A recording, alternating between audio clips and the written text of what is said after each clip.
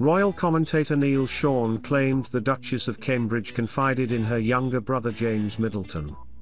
Speaking on his YouTube channel, Mr. Sean said, there was one person that she could truly turn to, confide in, and be assured that it would go no further.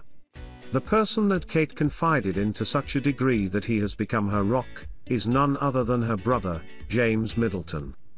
Now James has had a checkered past himself, he's had a few businesses that haven't taken off, but he's marched forward. He's been very open about his own personal struggles, he got married this year, and as you can see, he has a great affection for animals who he says do a lot to help and assist people with mental health issues. The Middletons are known to be a close-knit family. As well as her brother James, Kate has younger sister Pippa Matthews. Meghan's claim followed previous reports that it was the other way round. Meanwhile, Harry laid bare his rift with his older brother Prince William.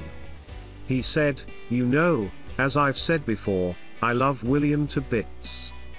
He's my brother. We've been through hell together. I mean, we have a shared experience.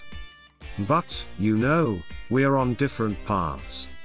The relationship is space, at the moment. Time heals all things, hopefully.